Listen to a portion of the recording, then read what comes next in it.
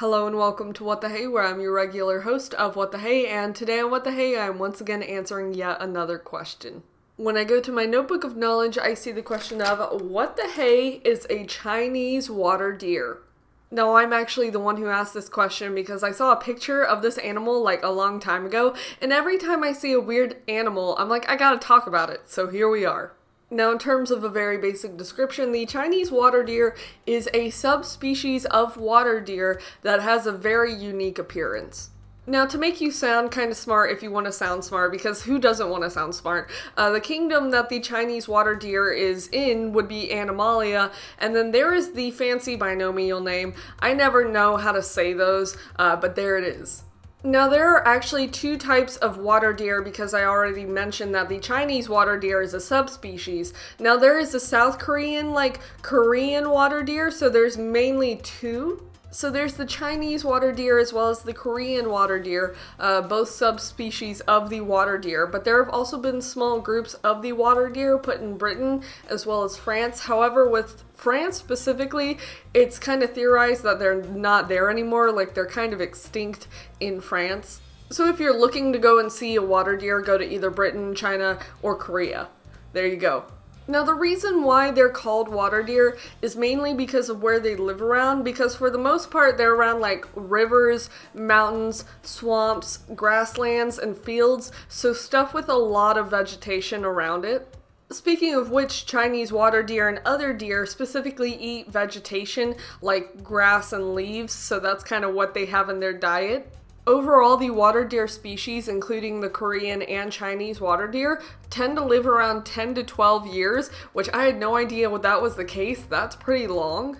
It's not like giant tortoise living forever long, but it's still pretty long. When studying the behaviors of water deer, Chinese water deer in general, for the most part they tend to be shy and cautious around the time of like breeding and baby being born season, the deer will tend to be a lot more territorial, which makes sense because if there are babies being born, you'd want to protect the baby. So just don't be there around that time, please and thank you. So for this section of the video, I'm going to kind of describe and give information on the physical kind of characteristics of water deer because that's typically what I find to be the most unique about this creature. In trying to get a visual, like, kind of representation of the Chinese water deer, they tend to be like 18 to 22 inches in terms of like shoulder height, so they're not that tall. They also weigh like 20 to 31 pounds, so like thinking in terms of dogs, they're like small dog breeds, like they're not that huge. When speaking of the color variations that you have for Chinese water deer and water deer in general, for the most part, they're kind of like a brown slash golden brown. The face of water deer can also kind of be gray or red, so it just depends on what part of the deer you're looking at.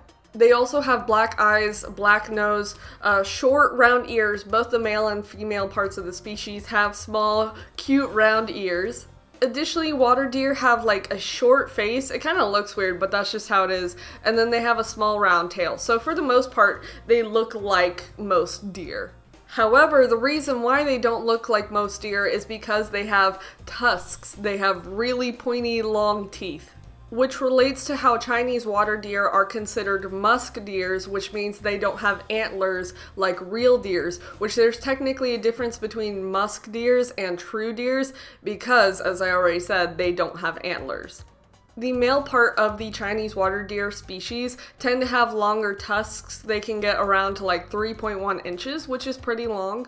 For the most part, the tusks in general are used for fighting for like dominance and territory, so it makes sense as to why they have them. They just look super cool. In terms of some other information, Chinese water deer can make a bunch of different sounds. Their bark specifically is a little scary, not gonna lie. But yeah, they do like barks. They can do like yips, yaps, and yells. But in terms of my general reason, the whole reason why I decided to do research on this topic in general was because of the teeth.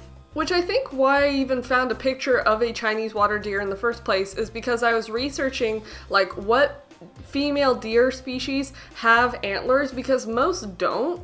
So I was like looking for pictures of female deer species with antlers because I was like, that'd be kind of cool to see one. Um, and then I came across the Chinese water deer that have teeth instead of antlers, and that's pretty cool. I think they're called vampire deer also, which makes sense because, you know, the teeth. But that's essentially the answer to the question. So if you have any questions, let me know and I'll get to answering them as soon as I can. So thank you very much for watching. Bye.